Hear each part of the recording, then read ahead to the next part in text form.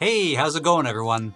I figured I'd put together a little video of the things that I learned working on the Pug Forest Challenge. Now this was a challenge that was put on by Eyedesyn and Winbush, and both are great channels. I use Cinema 4D, so uh, they have great tips and tricks on how to use Cinema 4D.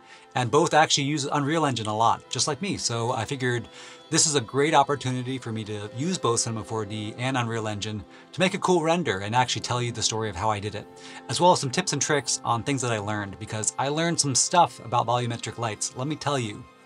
Uh, well, yeah, let's take a look at the project. So as part of the challenge, you have to download this template that actually has a baked camera animation and this pug. Here, you can see, let me actually uh, zoom into it. And uh, so basically those are the two kind of biggest elements of the scene that need to be kept, is the pug and the camera move. So when I was looking at this, I was just thinking, how can I incorporate the pug into some kind of story? And I love horror, particularly colorful horror, so let me show you the scene that I came up with. What if this guy was hunting this demon through this weird cemetery place and the demon hides behind the statue at just the right moment so the guy misses him? Figured that'd be a great way to incorporate the statue into the storytelling of the piece. So to make the environment, uh, actually really heavily leaned on this Eastern European slums kit, which is fantastic. It's like a really moody, cool kit. Let me just look at some of these screenshots. Like you can see there's the building there. Um, of course, I completely tore out the lighting and made my own very colorful, kind of moonlit, uh, Hollywood backlit moonlit kind of set. Let's actually take a look around and see what, what it is. Put in these gates that actually aren't even attached to anything. um, but you'll notice that I needed to put the pug onto a stand. So let me show you how I created the stand. Okay, so here we are in Cinema 4D, and uh, this is uh, the Gus statue here, just kind of for size reference. Um, and normally I, I, label all my meshes, uh, don't at me, uh, but uh, this is the low poly mesh. This is the one that I do all my kind of UV layouts on. So you can see uh, this is kind of like the UV layout here. Um, let me just go back to standard just to get a bigger view. Um, and so this is the interesting part though. This is the high poly. Um, so let me just kind of hide the, uh, the low poly. So what I'm using is this displacer that's basically just using this noise shader, like just a built-in Cinema 4D noise shader. I'm using box fields, you can see all these like little boxes, to kind of control where that noise is being applied onto the model. So kind of an interesting technique for creating your high poly. And you can see it, it's very high poly. Um, but uh, that's essentially what I did to get the kind of high-low, um, and then I took that into Substance. So here's that model in Substance Painter, and it was pretty easy to recreate the material. Um, let me just actually kind of go through our different layers and see what we have going on. I forgot how I did this, but I know that I baked the low and high poly in here. I love using this program to bake. So if you want to do that, you just go bake mesh maps and um, you just choose your high poly and low poly and all that stuff, um, which is great because it gives you all the channels that you need to kind of work in this program. So it looks like I'm just using like a concrete and then I'm kind of like filling in the dark areas using ambient occlusion. And I'm just using grass and like there's a lot of different layers. Like I guess the light is like, it's kind of um, appearing from the top most of the time. I'm blurring that. Um, yeah, again, like here, mostly like a gradient from the top to bottom, painting in extra areas where I want like a little bit more of that detail. And that's it. That's that's kind of all the texture layers that, um, or material layers that go into creating this. It's not like a great uh, but you know, it kind of matches the original model, so it worked for this project.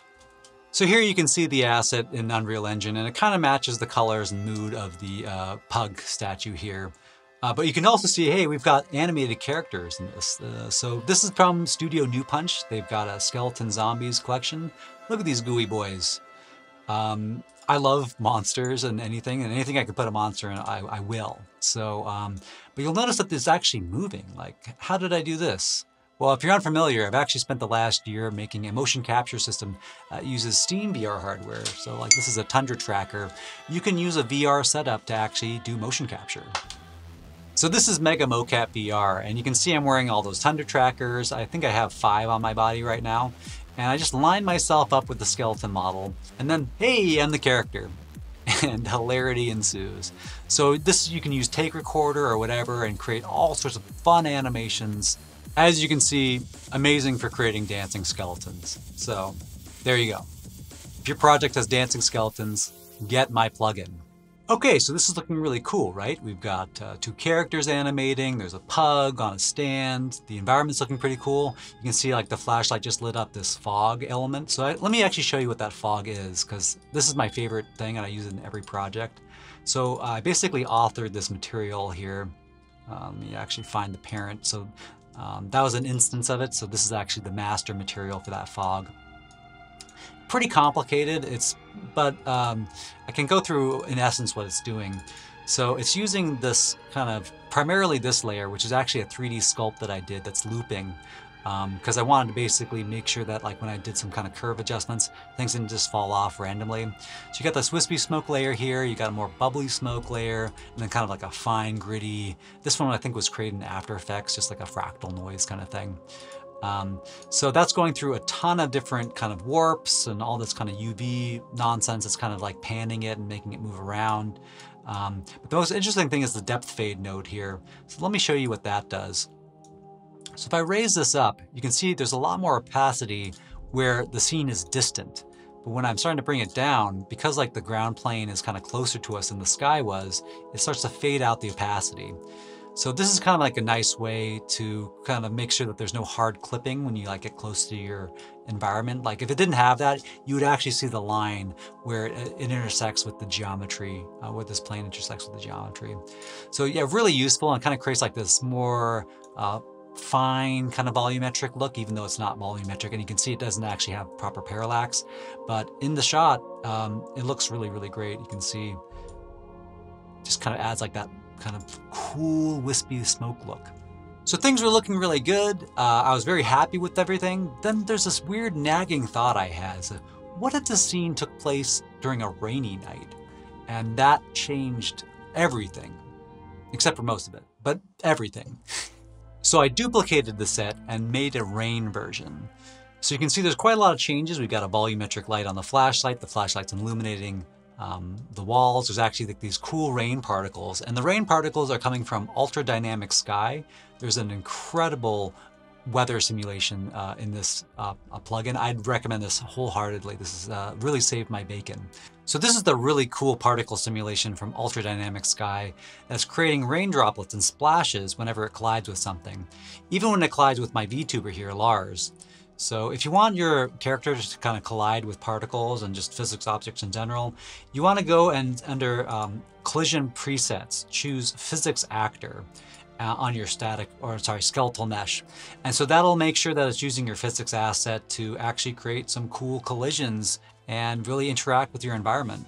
The rain kind of became an issue to actually make it um, apparent. I had to like tweak the shader a little bit to give it a little bit more opacity. Also motion blur was really blurring out the raindrops. So you'll notice when I switch between the in-camera view and the not in-camera view, I have to keep changing over um, my kind of lighting settings. It's because I had to really change the shutter speed of the camera to make it like really fast to capture some of those raindrops. But um, another thing that was really fortunate when like I was converting the scene to rain, um, got like a cool puddle texture as well here, which has like kind of ripples. Uh, so I added those, but the actual base um, European slums uh, actually came with, look at the shader, a wetness slider. So you can actually like change how much uh, sheen is on this um, surface. So I, I, darkened the material and then I added um, some sheen and yeah, again, like puddles everywhere. Change this light to be a lot more orange because I wanted to really direct your eye to kind of like this warm area in the frame. Um, this whole piece, I'm kind of like making your eye go left and then you see something over here and then like the lighting flash is like oh yeah it's like something's happening over on the right side and then I'm like uh, trying to like get your attention again with like the light swiping here like oh something's happening with this character and then again the lightning flash really highlighting the silhouette of this character so I'm constantly trying to make the you look back and forth to catch the important bits of information at any given time. Uh, hopefully I was success successful with that. I don't know if I really was because it's, it's, a quite a busy scene. Um, but uh, let me actually go over some of the other uh, cool things in this uh, environment right now. So you'll notice that there's a bunch of floating black objects here, and these are actually gobos that I created. And you're not seeing the effect of them uh, in Editor. It, it, will appear during render. Oops, I actually grab the gobo here. So here I've made a new scene just to show you what the gobo object does. So if I press play, you can see that the object that's uh, casting the shadow doesn't appear in the game mode. And the way you do that is, uh, let me just open up the blueprint. In your static mesh, let's find the rendering, you want to be visible, but also hidden in game. But then you also need hidden shadow on. And maybe this one on, I don't know. But, uh, oh, this one's good too. Cast some max shadow will make sure that the uh, shadow looks really good. Um, but here we have uh, my Gobo object where you can actually combine different RGB channels. Um, you can invert it so that um, basically white is transparent versus um, opaque. Uh, then there's also like rotation options. So you can like rotate the two um, different channels separately of each other. So let's actually do that. Interesting stuff you can do. Um, you can change the blending mode. There's lots of stuff that I might put this functionality inside of the Mega Mocap VR um, pretty soon. I'm still having to do some tests with it, but uh, uh, overall, I'm, I'm really happy using this versus light functions because with a light function, as cool as they are, it feels like it takes place over the whole light. So like this is much easier to place like a flag where you just want like a specific dark area. You just like plop that down and then you have like just like a, a more interesting shadow wherever you want it. Um, because yeah, again, sometimes you don't want it to be taking place over the whole light. So after lots and lots of iterating and just trying to figure out the best settings for everything, I'm finally able to render the scene out. And so you want to open up the movie render queue. And I've got a preset that I've made for this one here, Rain Render 3. So let's take a look at some of the settings that I found were the best. So EXR gives you the most latitude. I'd recommend uh, rendering to an uh, EXR. The wave, probably not that important. Uh, under the different kind of passes, I chose to do a depth pass, um, motion vectors, not as important for me, but uh, I want base color metallic. Uh, you can basically find other ones. If you go to, uh, let's see, if you click on this little folder, you can actually see all the different options you get in the buffer visualizations here. So uh, anyways, under anti-aliasing, I actually went kind of lighter on the temporal sampling count than I normally used to. Uh, one of the big problems I had in the scene was making sure that the rain didn't blur out um, because it was moving very fast. I'm doing some things with like the shutter. I think the shutter on the camera was like 720. Just wanted to make sure that, oh, and also like limiting the blur amount. So like it can only be like 1% instead of the, the typical 5% uh, that it is. But anyways, I get here. There's uh, my temporal and spatial uh, sample counts, and I've got a render warm up time so that the particle simulation can get going. This is probably the most uh, important kind of field. These are the uh, console commands, and I think the most important one for me, because I had this flashlight so you can see I actually have a volumetric light source on my character on the flashlight and he's moving it around really fast because he's searching for this demon, right? Um, you'll notice that there's actually even a, a trail effect. I kind of scrub through here. The volumetric light is, kind of has like um, it's lagging behind essentially the, the source, uh, just kind of like to make the rendering a little bit uh, lighter weight on the system. Um, but there's a way you can actually avoid that. So let's open up our movie render queue again. You want to have this volumetric fog temporal reprojection to zero. And to make up for some of the artifacting that that causes, I have this history miss supersample uh, count. So this is like looking at either side, I think by 12 frames of the current frame, and that's going to kind of blend those two together just to like kind of smooth over any kind of artifact that could happen. And there's a volumetric fog jitter. I just put that in there just in case. Um, and it seemed to work out pretty well. But uh, these are kind of like the settings I use for typically all the projects. Depth of field quality, motion blur separable is an important one, um, etc. I'll put all of these into the description. So this is our raw render, and things are looking really good, so I didn't have to do anything. But I did, because I'm a compositor. So uh, let's actually take a look at what I'm doing here. Um, let's start. So yeah, I've got like kind of the base. Um, I'm blurring the light because I've found that like it's just a little bit too sharp still.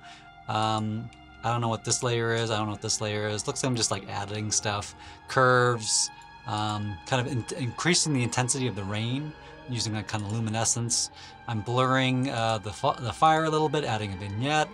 Let's see, if I think this one's, okay, this one's another curves. Got a lens flare for the light. Um, gotta have the, the lens flares. Lens flares on uh, Unreal Engine are pretty good, but I still like the ones that you can add in After Effects.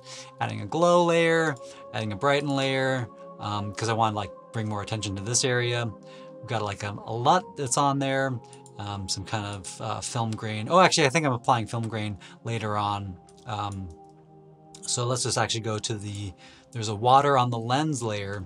So um, this, I shout out to Andrew Kramer from Video Copilot, using his tutorial still to create this kind of uh, rain water look um, for the lens. So I'm, I'm basically adding that just to the edges so it makes the uh, image just feel more wet and just like the lens is damp. Because uh, I really wanted to create that kind of saturated uh, wet feeling. Um, then we got another curves, of course, curves upon curves, and a, a, grain and a sharpen. And then we end up with like a final image that looks like this. So yeah, so many steps. Oh my God, and then there's sound design. So I did all my sound design in Premiere because I'm a basic bitch. And no, Premiere uh, is, is great. The thing that I love about Premiere that not a lot of people know about is um, this audio track mixer. So you can actually set up like different reverbs for different tracks. You can have submixes.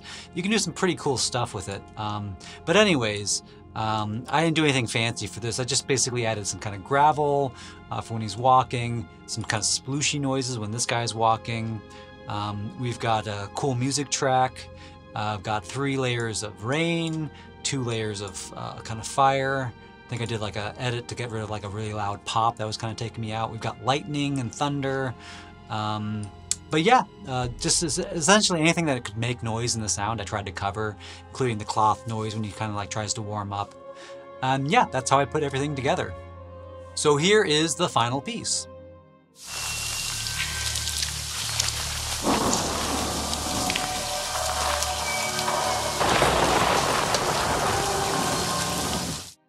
Thanks so much for joining me on this special look at the things I had to either make or learn for the Forest Pug Challenge. And thanks again to Eyedesyn and Winbush for putting on this challenge because I think I learned a lot about Unreal Engine.